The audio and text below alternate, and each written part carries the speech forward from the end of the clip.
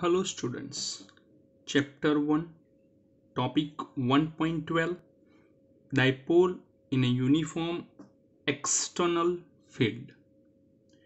Before dive into this topic, let's discuss about uniform and non-uniform electric field. As shown in figure, we can clearly see that the electric field lines are equidistances and they are in same manners throughout the figure. So this is an example of uniform electric field. Uniform electric field means electric field does not change with respect to time and distance this is illustrate of non-uniform external field. We can clearly see that the lines are not equidistant. Where lines are crowded, it shows strong electric field and where lines are far away from each other, it describes weak electric field. Let's understand dipole in a uniform external field with its diagram. As shown in figure, electric field in positive y direction and this is a dipole.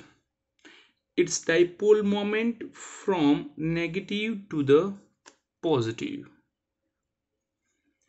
this is an electric field and it is a dipole moment from negative to positive. Angle between them is theta. Is a theta. Now, electric field on plus q is upper direction.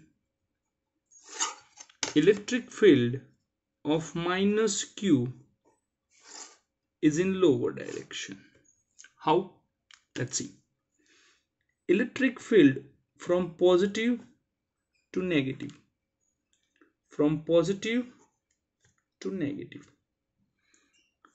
Negative, positive attract each other.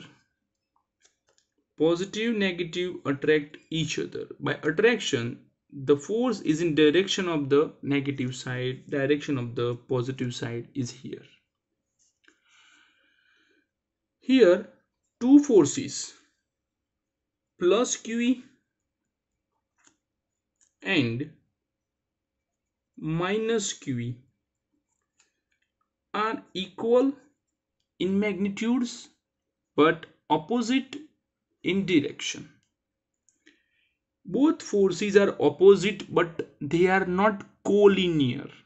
Therefore, they form a couple. Chapter number 7, Standard 11. And a couple produce a torque. Let's see. What is the basic equation of the torque? Basic equation of the torque is tau is equals to r cross F as we know that. R is equals to the distance between force is 2a. See, distance between two charge is equal to distance between two forces. QE.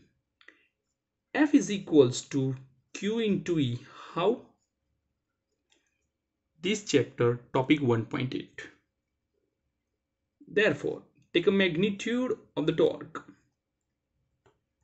2a q e sine theta where 2aq is a dipole moment. It's pe sine theta.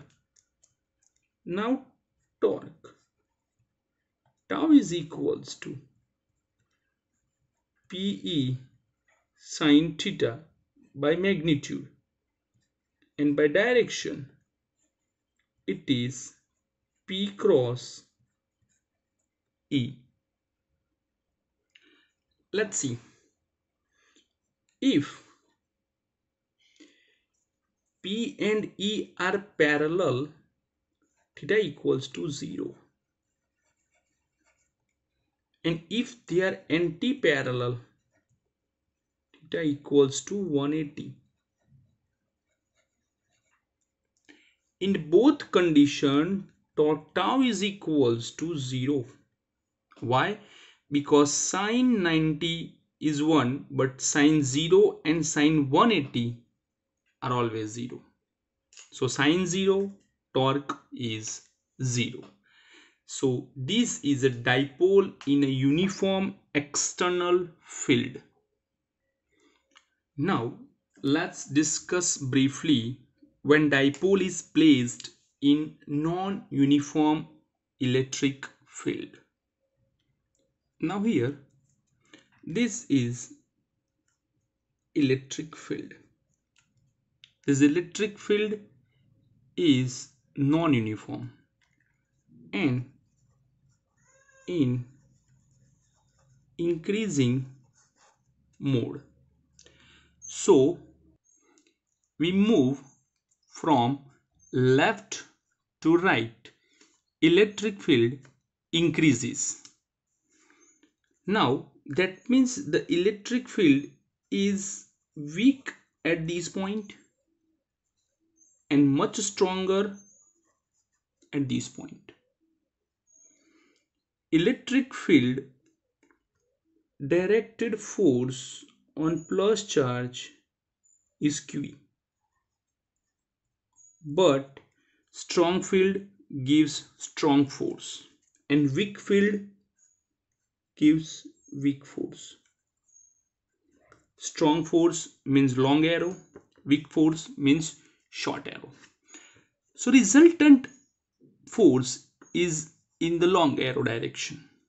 So electric field is in increasing mode dipole moment is in same direction but force is in the direction of increasing manner. Listen resultant force is in direction of increasing manner.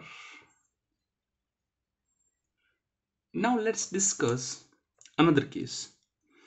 When P and E are anti-parallel. Direction of electric field in first case and in second case are same. Let's change direction of dipole. This negative becomes positive. This positive becomes negative. So the direction of P will be changed from negative to positive. Force acts on both charge is in same. Here field is strong, force is also strong. This time negative negative repel therefore direction is changed positive positive repel direction is changed again resultant force is in direction of the strongest force. Strongest force is from right to left means toward the decreasing mode toward the decreasing mode listen again. Resultant force is in direction of the strongest force and the strongest force is from right to left means resultant force is in direction of decreasing manners. So this is a topic 1.12 thank you for watching my video